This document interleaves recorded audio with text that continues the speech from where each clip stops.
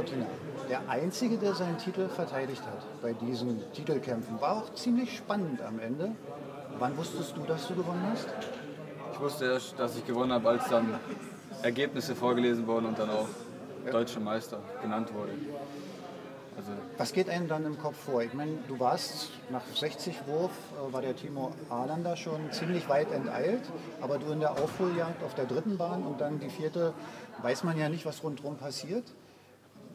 Wie geht man an so eine Situation ran? Ja, also ich, ich habe nie aufgegeben, wirklich. Ich wollte immer alles zeigen, was ich kann praktisch. Ich habe immer Gasse gespielt, gekämpft. Habe halt immer noch gehofft, dass es am Ende reicht für eine Medaille, für einen guten Platz. Und so war es dann auch. Also, ich habe nie aufgehört na, äh, zu kämpfen. Gold im vergangenen Jahr? Ja. Das war in Schönebeck. Gold in diesem Jahr in Ludwigshafen.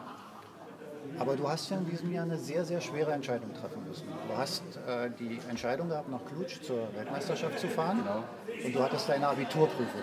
Ja. Wir wissen ja mittlerweile alle, wie du dich entschieden hast. Offensichtlich auch kurzfristig, vielleicht auch, weil es schwer ja. war. Ja. Also Erzähl mal einfach ein bisschen darüber.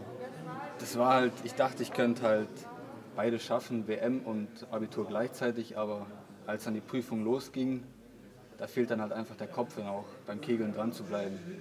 Ich habe dann im Training auch davor nicht mehr so wirklich stark gespielt und ich wusste auch, das muss ich, ich muss mich entscheiden für eins. Dann habe ich halt das Abitur vor, dem, vor, vor der WM vorgezogen. Nun hast du ja auch eine kegelbegeisterte Familie. Also da ist nun ein bisschen noch hinterher äh, auch, ähm, sage ich mal, ein paar Schwergewichte im Kegelsport. Wie beeinflussen die dich?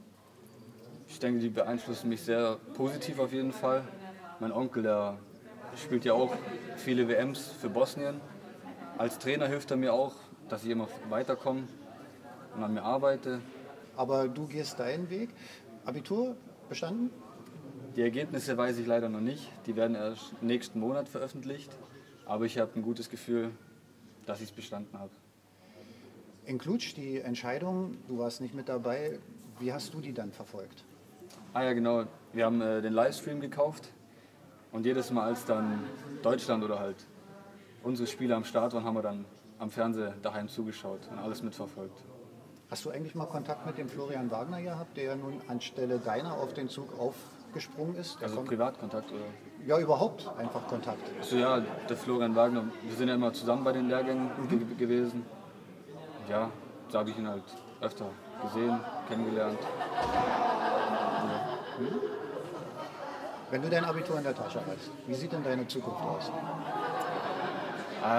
Also Kegeln auf jeden Fall weiter.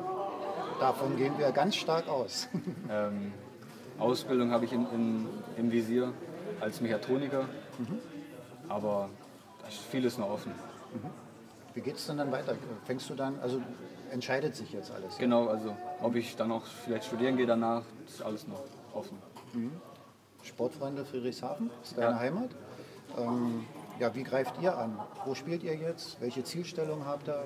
Wie ist dein Stand in der Mannschaft? Genau, also wir sind ja aufgestiegen jetzt in die zweite Bundesliga. Genau, herzlich willkommen Ja. im DKBC-Bereich.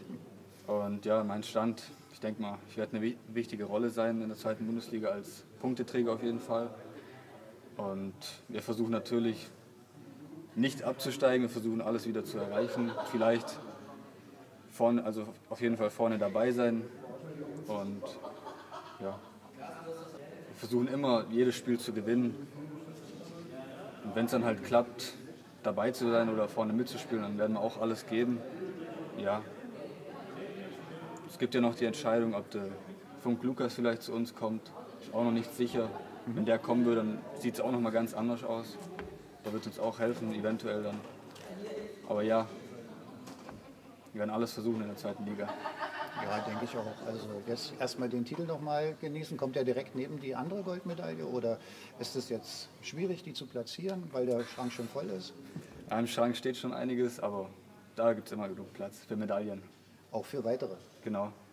Freuen wir uns drauf und wünschen dir einfach eine erfolgreiche Saison, aber jetzt erstmal eine erfolgreiche Sommerpause. Genau, danke. Dankeschön. Tschüss. Wenn Kegeln einfach heard that